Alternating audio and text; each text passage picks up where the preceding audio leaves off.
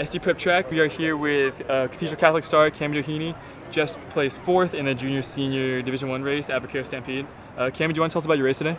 Um, okay, I went into the race not really having a set plan, just kind of trying to beat my time from last year and just see how the beginning of the year is going to be for me to set the foundation. So kind of just went with how I was feeling and ended up doing what I wanted to do. That's good.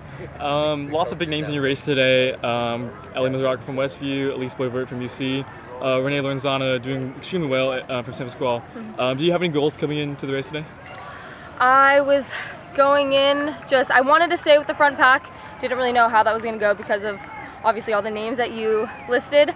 But I think just staying with them, not even trying to like beat them this time, um, and just testing what I could do up against those tough girls. Uh-huh. Uh, looking ahead to the season, um, how has summer training gone for you, for you and the whole uh, Cathedral Catholic team uh, this summer?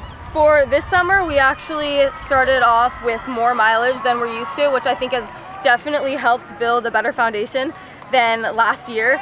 And so I'm actually really grateful that we did that. At first I was a little hesitant because we're kind of a low mileage team compared to the other schools, but I think it's really helped so far. Mm -hmm. Do you have any goals um, coming into the uh, season this year, individually and team-wise?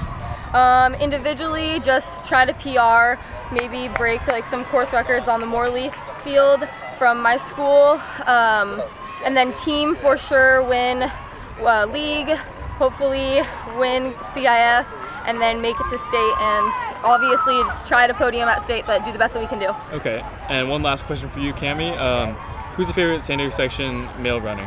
Joaquin Martinez de Pinillas for sure. Shout out to Joaquin from Cathedral Catholic. All right, here we are with Cami Doheny, uh, just placed fourth in the junior senior Division One girls race. Thank you.